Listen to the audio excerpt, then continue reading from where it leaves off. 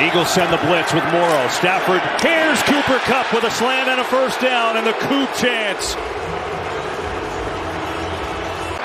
Drag, drag.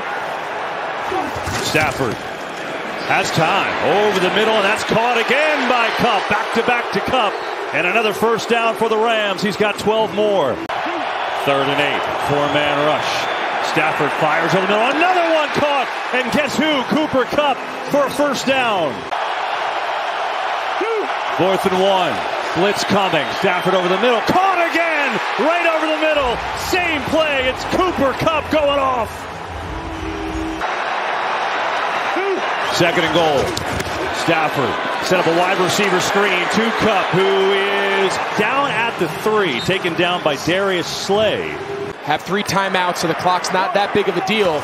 But they're going to go fast and try to steal possession. Stafford going deep. He's got Kupp open. He's got it, and he's taken down inside the 25. Cooper Kupp gets open deep. Stafford Kupp, that's his first catch of the second half. He's up to the 42. Four-man rush. Stafford over them, this time Kupp, First down and more. Kupp up across the 40 and wrestled down at the 43.